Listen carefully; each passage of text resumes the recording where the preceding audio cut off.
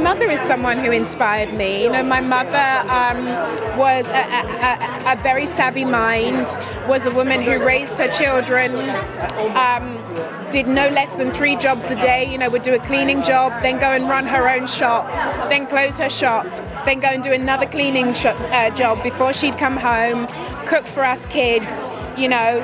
Um, so my mother taught me the importance of hard work. My mother taught me the importance of resilience. You know, my, my mother taught me the importance of um, um, not seeing the obstacles. oftentimes the time when change needs to be pushed for the hardest is during those dark moments when you do feel alone, when you don't feel like um, there's anybody else necessarily thinking or feeling the way you are, or when you don't think that there's any hope.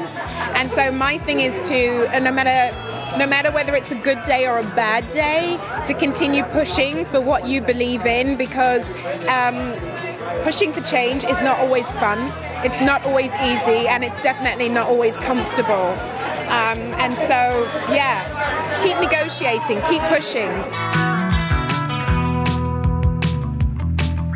I think the message for all of us is me too, and sometimes you only. And what I mean by that is, I don't always have to um, have suffered what you have suffered to care. And I think empathy is really important. And empathy means that you haven't necessarily experienced it, but you understand that what that person's going through matters and deserves caring um, and has value. And so I think we must all we must stick to Me Too. We must stick to Me Too. But alongside that, we can have you only, and I still care.